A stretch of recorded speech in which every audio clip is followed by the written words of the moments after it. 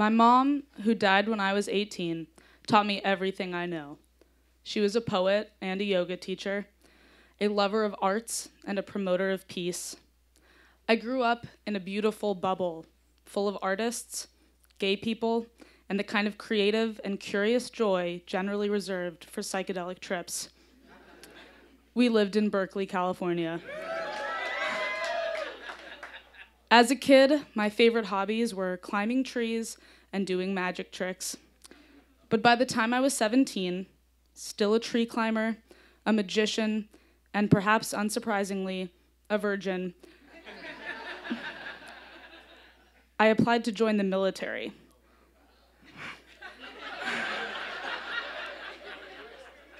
My mom was horrified.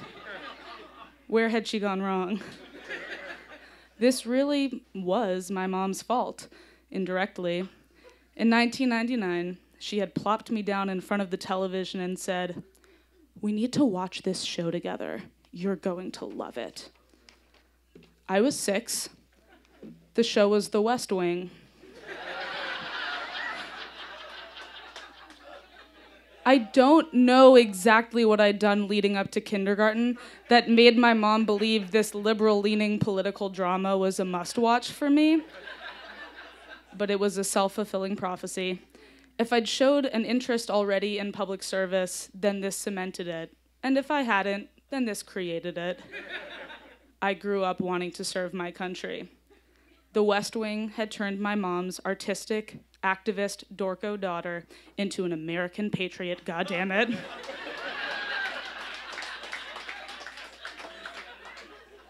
my mom was a proud American. She just also believed the highest form of patriotism included a healthy dose of skepticism, criticism, and outright dismantling of a country's systems. That included a distrust for the military industrial complex. In 1967, she was seven and dressed up for Halloween as a peace sign, and the other kids threw eggs at her. She probably would have been a conscientious objector. As I applied to colleges, I didn't know yet what I wanted to do with my life. I got straight A's, was the captain of my sports teams, stage managed the musicals, was the president of my class, the president of Model Congress, and also ate lunch most days with my math teacher. when I had free time, I practiced magic tricks in the mirror and read Harry Potter. Basically, somehow the Navy had said the magic words teamwork, leadership, service and free college. And though it wouldn't be on a Nimbus 2000, the Navy could teach me to fly. My mom worried the Navy would change me for the worse, but she believed I could change the Navy for the better. She was mostly worried it would squash my creativity, that I'd have to give up my silliness when I donned the uniform. At least, she thought hopefully the Navy might get me to make my own bed two weeks before my mom died of cancer, she watched proudly as I sworn in as a midshipman, phase one complete of my status as a progressive sleeper agent.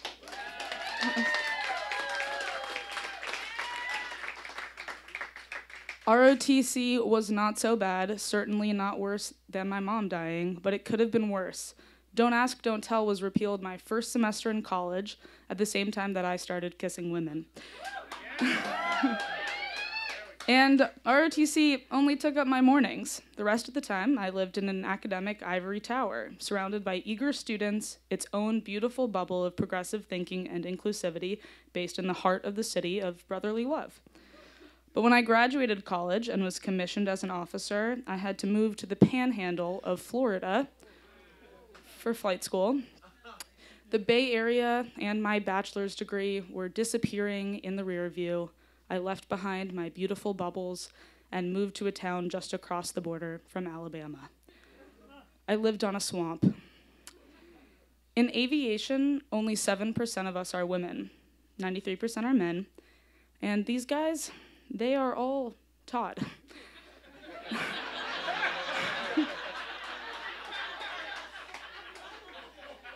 They are the worst. Even the best of them. I mean, a lot of these men are white, often conservative. Almost all of them are hetero. And all of them are tools. Even the lovable ones. You've seen Top Gun, right? To be clear, I did know shitty straight white men before I joined the military. after all, almost immediately after my birth, I met my dad. While my mom battled three rounds of cancer, my dad tried to bleed her dry financially, dragging her to court over and over again to fight for custody of kids who were afraid of him and his explosive anger. By the time I went to college, I had a thick skin when it came to emotionally abusive men who had never done the work.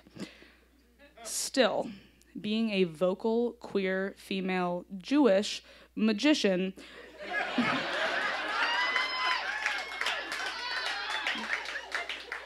made me an easy target for ridicule by my new coworkers. My second night living in Florida, I went out drinking with some of my new colleagues. I was probably the only woman in the group. The rest were male, freshly minted military officers with buzz cuts. When I mentioned to one of them why I joined the Navy, I said something about the badass job opportunities for women. Another guy had heard me from across the room and barked, I bet you voted for Obama too, didn't you? It was like a record scratch. Obama? My skin felt hot and prickly. I didn't know what to say.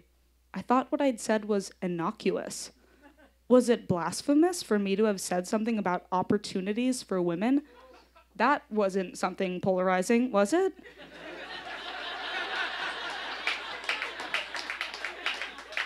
of course, I knew I'd voted for Obama. I'd worked on his campaign.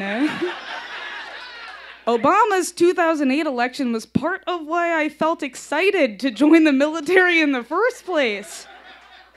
But I couldn't risk saying so. I told them that as a member of the armed forces, I was technically nonpartisan and I didn't share my voting record anyway. Yeah. They saw right through me. you did, didn't you? said a tool from Huntington Beach. He could tell a confrontation was brewing, and it seemed to agitate him in all the right ways. He was buzzing. I refused to answer, but they could tell they'd made me nervous. I had made myself a permanent target. Fast forward, and any time I drank with my colleagues, the night would inevitably culminate in them ganging up on me, trying to bait me to talk politics. If I talked about a lack of equity and how socioeconomic disparities were correlated with race, their eyes lit up. It was like a game. They seemed giddy when I suggested that we were still seeing the effects of slavery. It was as if I had fallen into their trap, as if they had a bet that I'd bring that up as if it were a classic talking point and nothing more. I hardly knew anyone in Florida then, so by default, these guys were my community. One of them was right out of a Tom Petty song. A good boy who loved his mama, loved Jesus, and America too. He didn't believe gay people really existed his name was Austin, but he was from Florida.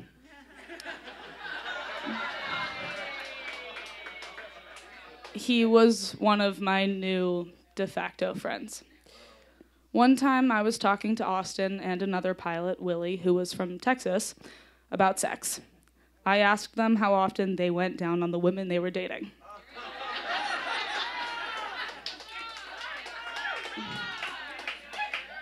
And then I shamed them for their answers.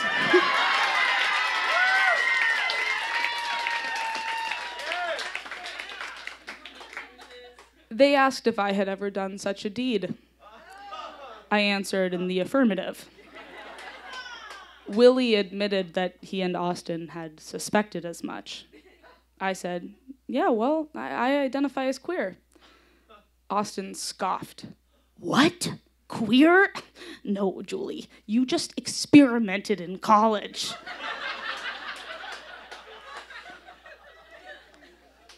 it eased all the guys' minds that I was dating Andrew.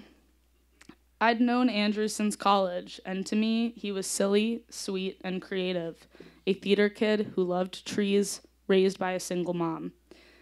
But to Austin, but to Austin and the others, Andrew was a white hetero guy in flight school with us who was good at sports and liked to drink beer and put tobacco in his lip. Dating Andrew made my sexual orientation more digestible. My same sex experiences were just a novelty. I was their quirky friend who had gone through an eccentric phase that involved crushes on women.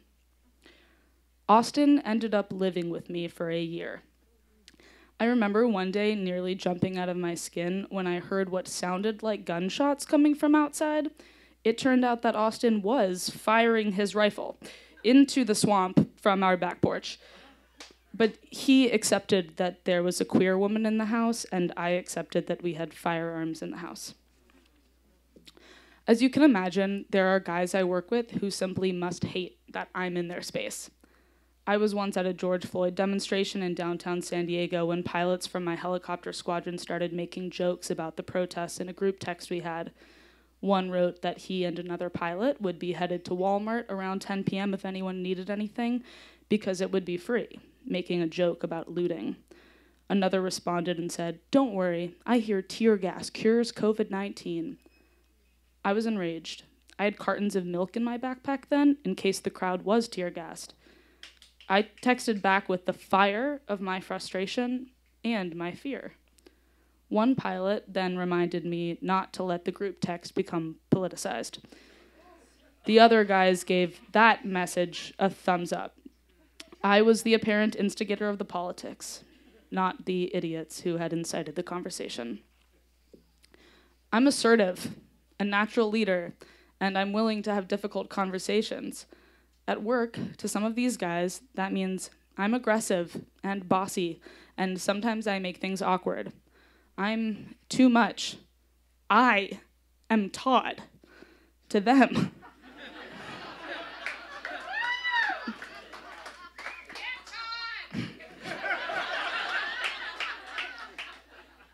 I annoy them in a different way than they annoy me, but we're all annoyed with each other, and we also have to work together as a team.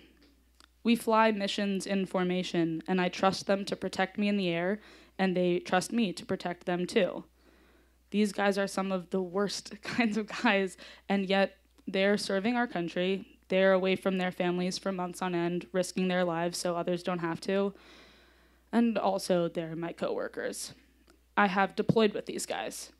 I've been forced to move past all the reasons why I don't want to spend any time with them at all in the first place because I have had no choice. I've been trapped on a boat with them for months on end. what was I gonna do? And on the ship, we have our meals together, we study together, we work out together, and we have each other's backs. It's not completely miserable. Sometimes I truly enjoy their company, and at a certain point, they stop feeling like coworkers and start feeling like brothers. Terrible, wonderful brothers. I have judged a lot of these guys for their opinions, many of which I believe come from growing up in a bubble. But I was also born in a bubble, then grew up and left home for another bubble. Austin had never left Florida before the Navy, and he had never met a gay person. I had never met people who didn't know gay people. Interacting with these bros has helped me gain perspective myself. Andrew is one of those bros and is my best friend in the world. I fell in love with that Todd so hard that I even married him back in 2016. We are divorced now. but we are still best friends, and he is here tonight.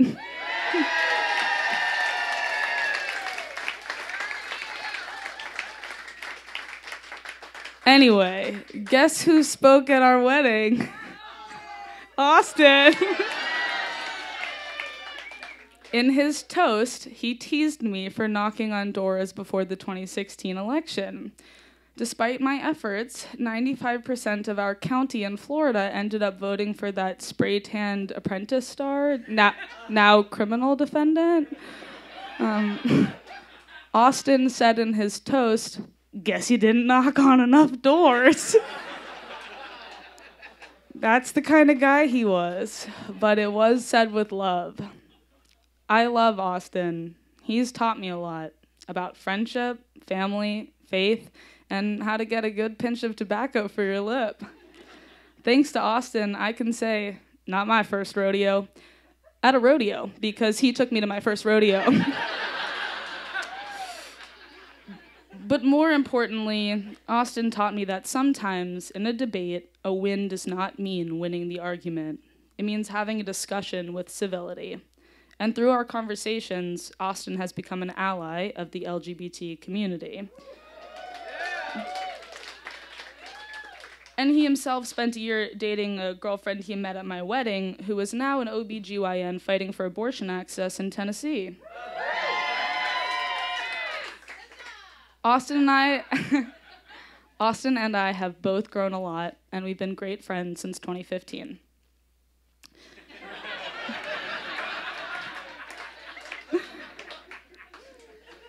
Not all douchebags are made equal. Some should really hardly ever speak, sure. But every one of us would benefit from shutting up from time to time and just listening. Because chances are, even the worst Todd is still just a guy. Probably misunderstood, insecure, and compensating for something. But maybe he has something to teach us. Either way, he's one of us, and often we are stuck with him as a coworker, a roommate, a neighbor, a family member. Furthermore, if instead of approaching him with anger and disgust, we approached him wanting to learn, then we might learn. We also might surprise him. We might disarm him with our compassionate curiosity. Maybe that opens the door for him to be curious about where we are coming from, instead of just putting us in a box. I am a lieutenant and a helicopter pilot. I'm a mission commander, highly trained to drop torpedoes and fire Hellfire missiles. But I'm also a magician and a tree hugger. I grew up in a hippie town and was raised by a poet. I'm divorced, I'm queer, I'm Jewish, and I believe in the collective consciousness. The point is, there's no way to know me until you get to know me. And the same is true for all of us, all Todds and even Austin. We all have different perspectives. We all come from our own worlds, a product of our unique bubbles. What's on the surface would sell all of us short. It's easy to write off the jerk offs, it's harder to befriend them, but we make progress as a society when we face them with an open mind. We can start by listening. Best way to do that is to first, respectfully, shut the fuck up. Julie Roland, ladies and gentlemen. Julie.